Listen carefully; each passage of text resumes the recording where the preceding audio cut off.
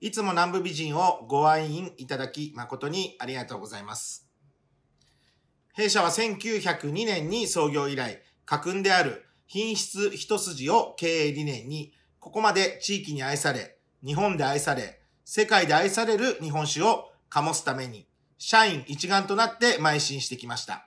そんな中、今回の新型コロナウイルス被害の拡大に伴い、地元の医療関係者、私の仲間の医療福祉関係者などから悲鳴のような声が日を追うごとに聞こえてきました。病院での医療福祉関係者の皆様は消毒用アルコールが足りない。自宅介護している方々は介護での家での食消毒アルコールがなくなり、もうどうすることもできない。など、もうギリギリのところまで来ていると思いました。医療関係の皆さんは今、最前線で戦っています。そんな医療関係の皆さんが今のままでは消毒アルコールもない、防護服もマスクもない、そんな無防備な状態で戦わなければいけません。そんな悲惨なことをさせるわけにはいきません。このような状況の中、令和2年4月10日付で、新型コロナウイルス感染症発生に伴う高濃度エタノール製品の使用についての改定事務連絡があり、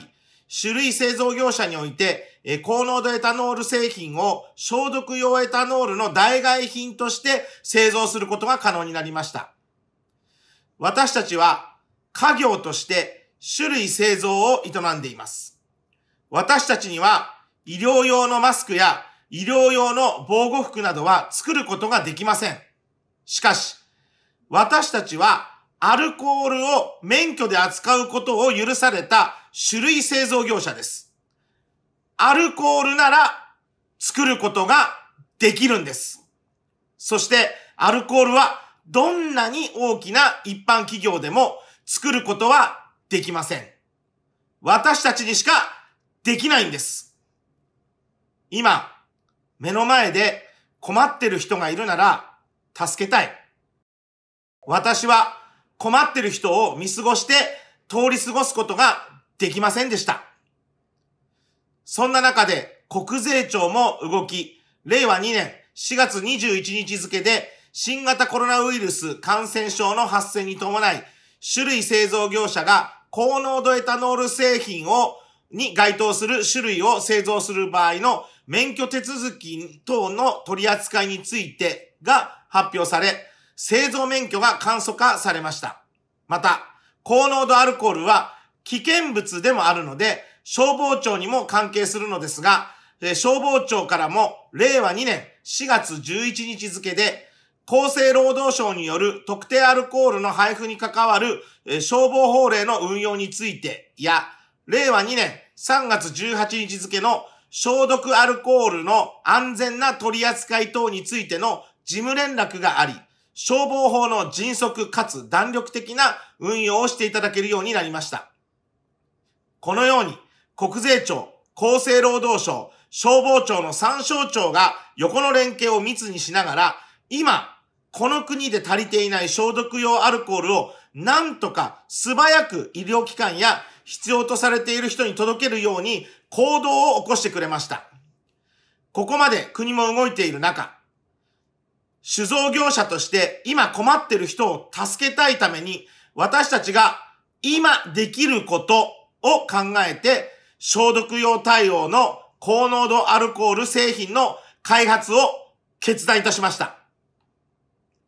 本来ならば私たち酒造会社が使う原料アルコールを厚生労働省管轄の消毒用エタノール製造会社に回して増産していただければ済む話でもあります。もちろん私はそれが一番効率的で、さらには専門外のわた専門外のことを私たちがするリスクも回避できますし、最も素晴らしいことなのだと思っています。もちろん、その方法も考えて動いてきました。しかし、周りを見てみると、消毒用アルコールの会社は増産をスタートしているという報道がたくさん出てるにもかかわらず、市場には消毒用アルコールはほとんどありません。さらに、医療機関にはいつまで経っても消毒用アルコールが入荷してこない。地方になればなおさらで、岩手県は4月23日時点で新型コロナウイルスの感染者がまだ見つかっていない唯一の県でもあり、もしかしたら後回しにされているのではないかと思えるほど地方に行けば行くほど消毒用アルコールはありません。そんな中で地方の酒蔵が地方で地方の医療関係者や必要としている人のために消毒用対応の高濃度アルコールを製造できれば、すぐにその地域に供給することができます。実際に私の蔵から歩いて2分の病院でも消毒用アルコールが不足しており、かなり困っていたところ、私が生産を開始するということで、大いに感謝をされました。また、人口2万7千人の小さな二戸市全体でも、開業医を中心に消毒用アルコールが全く足りていない状況を鑑み、二戸市医師会と連動して、地元医療関係者への優先供給を始めることにしました。日本には、日本酒、泡盛、焼酎などの酒造会社は全国47都道府県すべてにあります。そういった地方の酒造会社が消毒用対応の高濃度アルコールを生産すれば、その蔵のある地方で迅速な供給が可能になります。大きな消毒用アルコールの会社は、もちろん増産していただき、私たち酒造業者の原料アルコールも使っていただき、フル生産していただき、できるだけ早い時期に全国に消毒用アルコールが行き渡れば、私たちの今回の仕事も終わりになり、それが一番正しい形になると思います。私たち酒造酒造会社は、今回消毒用対応の高濃度アルコールをやる意味は、今足りていない地元医療関係者などへ迅速に供給できること、そして消毒用アルコールは全国隅々まで行き渡るためのワンポイントリリーフだと思っています。今困ってる人へ届けたい。南部美人を118年愛してくれた地元の皆さんの困ってるの声をアルコールで解決できるなら、アルコールを製造できる責任と使命において、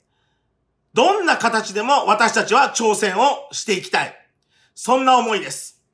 118年続いてきた南部美人の長い長い道の中で、まさか飲むことを目的としないアルコールを製造することはになるとは、私の代で製造することになるとは思ってもみませんでした。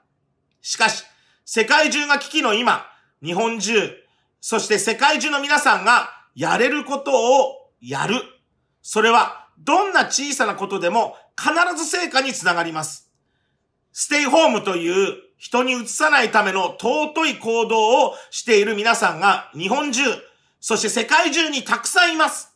私も酒造会社として自分のできる行動をし、この国難、いや、世界の困難に立ち向かっていきたいと思います。私は東日本大震災で学びました。危機の時には、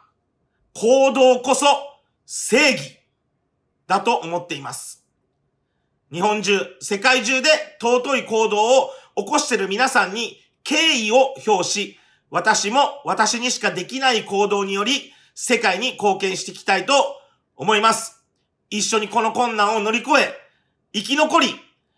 コロナ後の未来には、本当に美味しい日本酒で乾杯できることを切に祈っております。ありがとうございます。